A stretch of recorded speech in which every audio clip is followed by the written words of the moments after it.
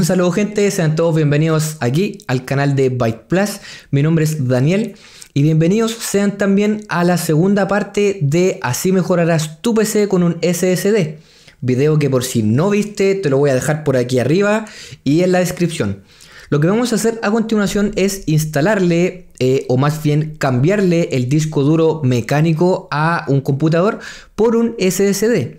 Ya sea si te compraste un SSD de 2,5 pulgadas o un M.2 NVMe.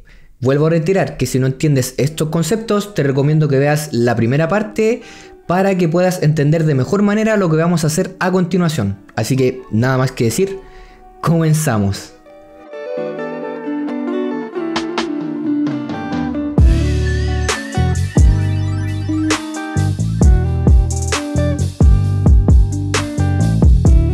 Ya estando en la mesa entonces, primero que todo apagamos el equipo y procuramos que éste se encuentre desconectado de la corriente.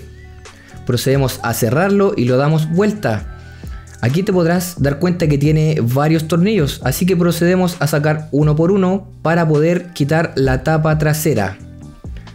Mira, una vez que logramos quitar la tapa, te darás cuenta que nos encontramos con la placa madre del equipo, la cual alberga todas las conectividades y componentes internos de nuestro computador. Aquí tenemos que identificar el o las áreas de trabajo. Si bien vamos a querer cambiarle el disco a un SSD o bien a un SSD M2 NVMe. En este caso lo vamos a hacer con el primero Así que identificamos dónde se encuentra nuestro disco, procedemos a sacarle los tornillos y vas a ver que este viene con un cartridge o con un slot. Y te preguntarás, ¿para qué es esto? Pues principalmente para que el equipo eh, o disco duro dentro de nuestro computador no se mueva ni se desconecte ningún cable. Entonces es una medida de seguridad que tiene para que esto no pase. Muy bien, tenemos que retirar el disco dentro de este slot. Lo hacemos retirando los tornillos, lo quitamos de la mesa y traemos nuestro SSD.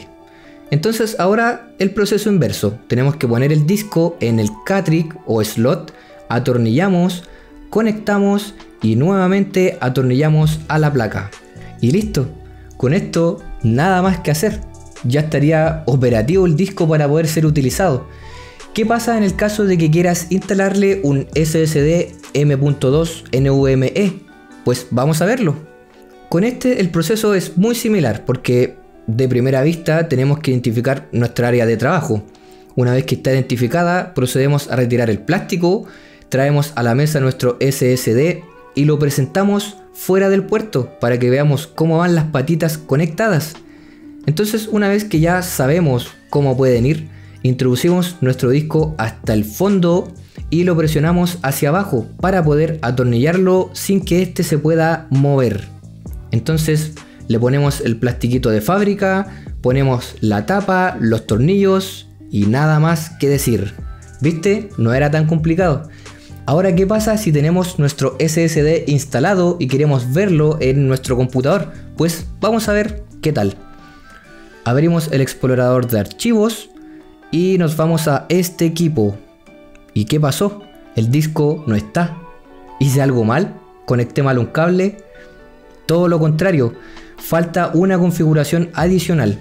Tenemos que presionar la tecla Windows, se nos va a abrir el menú y tecleamos disco duro.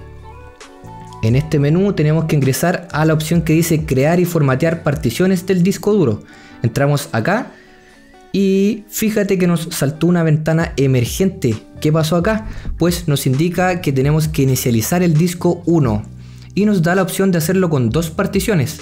Para no complicarnos tanto la vida, decirte que la partición MBR era la que se utilizaba antiguamente, y si no me equivoco, en computadores con Windows Vista y que ya no se utiliza, porque la partición GPT es mucho más estándar.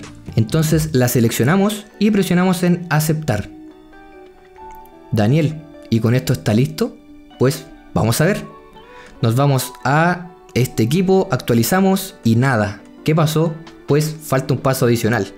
Así que volvemos a la ventana anterior y nos ponemos sobre donde dice disco 1, que en este caso sería el disco al cual le instalamos.